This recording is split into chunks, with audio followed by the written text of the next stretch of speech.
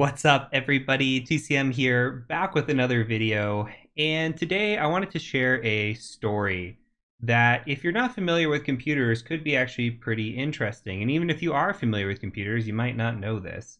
So recently I was on vacation, went to the beach, got some nice tan lines, you can see my raccoon lines on my face, and one of my favorite things to do when I am on vacation is to go thrift shopping. I love to go to stores and try to find some unique clothes or unique items. And I find that when I'm in a different town, I get to experience different things. This time around, I went to a thrift shop by the beach. Now, the thrift shop had some interesting knickknacks, but one thing that I found that was pretty interesting was a very old digital camera. And this digital camera was interesting to me because digital cameras have these little SD cards in them. And I like to get old cameras and old SD cards because oftentimes you can find what was on this. You can find the history behind what is on these SD cards. Now, the thrift store told me that the camera was tested, it was good, and that the card was clean. So they told me when I plug this in that there would be nothing there for me to see. No pictures, no history, no data. It's just a empty SD card. And boy, were they wrong. So in this video, we're going to take a look at why this SD card was not truly empty, how we can actually recover photos, and this is a great opportunity to look at forensics and data and how it can be pulled off of a drive. And it's just a great lesson for security and security awareness overall. So we're going to take a quick word from our sponsor, and then we're going to hop on the computer and take a look at what is on this SD card. So stay tuned. Today's video is brought to you by TCM Security Academy, where you can learn to hack without breaking the bank. TCM Security Academy boasts over 13 courses ranging from foundational courses like Linux 101 or Python 101 for hackers, and we even have additional courses related to cybersecurity, such as our famous Practical Ethical Hacking course, our privilege escalation courses, our pen test courses, and even some oddball courses like malware analysis and web application testing and Windows forensics, and our categories and curriculum are always growing. We are 200,000 plus students deep, and we are fulfilling our mission of providing courses for no more than $30 a course. On top of this, we have our All Access Pass subscription. So if you look at our academy, you go to the All Access membership, you click on that. What does that get you access to? Well, pretty much everything. For the price of one course, you get access to all of our courses in a monthly subscription. And that even includes our PNPT Live video on demand that we're running right now. Now, currently, we offer this at $29.99 a month or an annual membership of $299.99 a year. However, for this video, we are giving the first 100 people to use a coupon 20% off. All you have to do is go to enroll now and enter the code all access for me to get your coupon code. Again, the first 100 people to use this code will receive 20% off their first month's membership and access to all of our courses for a total of $23.99. And all of this comes with a 30 day money back guarantee. So if you don't like the courses or the content, you can get your money back. So what are you waiting for? Come check out our courses today. Okay, so I have plugged in the drive and I've just gone to the folder. It has a DCIM folder, which is fairly common for an SD card. And now we can see in here that there is just an empty folder. Well, is this data truly empty? So what happens when you have files in a folder like this? So let's say we had files, a bunch of pictures that we took on our camera on this drive, and then we just went in here, highlighted them all, and deleted them. Do they actually go away? Well, the answer is no. When you delete a file from your system, your operating system actually removes what is called a pointer to your data. It doesn't actually delete your data. It simply marks the sectors where your file's data is as available, meaning that the data remains on your drive until it is overwritten. That means we can take a file recovery tool, scan this drive, and actually restore the data that we found. So we're actually going to do that. Now, my favorite file recovery tool is a tool called Recuva. This tool is free to use and very straightforward. So we open up Recuva, and I'll put a link down in the description below on how to get this. All you have to do is download the free version install it, and then you can go and test this on one of your hard drives. Test it on your main hard drive. See if you can recover any files. It's very interesting if you didn't know about this. So what you can do is you can just hit next. And there's two different types of recoveries that we can do. So I'm going to show you both of those. Now, in this instance, I want to know what was on this drive. So I'm going to look for all files. So it says, what type of file you're trying to recover? I'm going to say all files.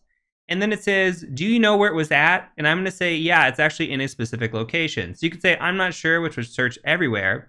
But in this instance, I'm just going to pick the I drive that's in here. I'm just going to actually tell it, hey, go to I because that's the name of my drive right here. And I'm going to hit next. And we're just going to do a regular scan. You see that we have enabled deep scan. We'll talk about deep scan in a second. For now, we're just going to start trying to find files. So I'm going to hit start.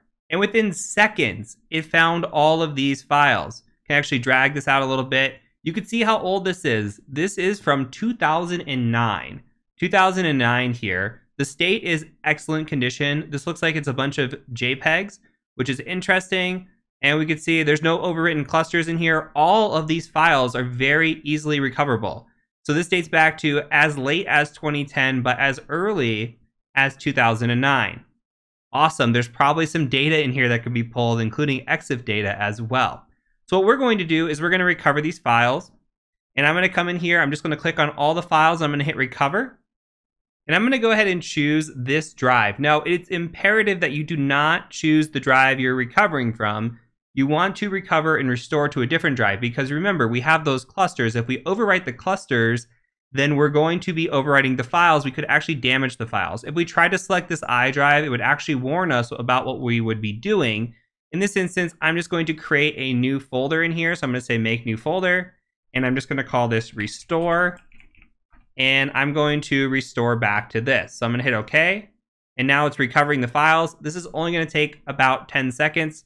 We're just going to let it fly through. And then you're going to see we're actually going to recover a ton of files.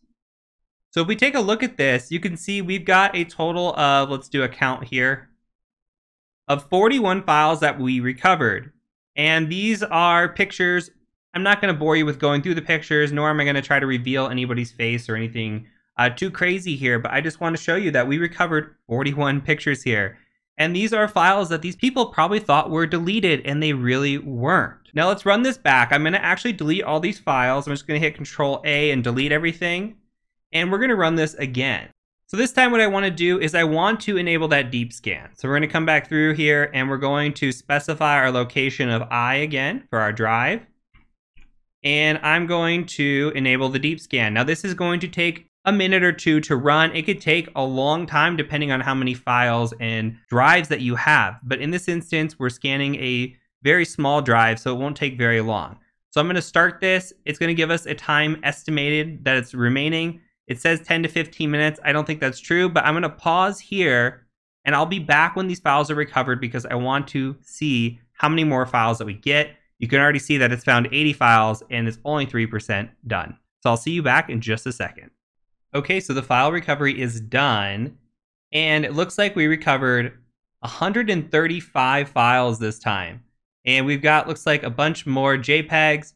These are all excellent. We also have some Samsung digital camera JPEGs. Not sure what all this entails, but we're going to go ahead and recover this as well. So I'm going to recover just like I did before. I'm going to come into this drive and put it into the restore folder, hit OK, and let these files recover. Okay, so the files have been recovered and you can see now we have so many more pictures and artifacts here that were not here before. So what can we take away from what we just saw?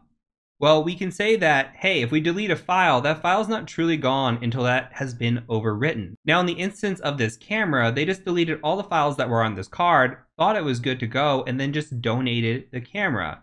And that shows you that these artifacts are left behind. Same thing, if you delete files, especially like if you have a sensitive file on your computer and you have like something with your social security number or your personal data and you delete it and then you just get rid of the hard drive, throw it in the trash or give it to a friend and say, oh, it's gone forever. Probably not unless it gets overwritten. Now, there are tools out there that can help with this. Let's take a look at that really quick. My favorite tool is a tool called Eraser. Just like Recuva, I will put the link to Eraser in the description below. but we can actually use this tool to schedule an erase. We can come in here, hit new task. We're going to say run immediately. We're going to add data. And we're going to say, we're going to target a drive or partition.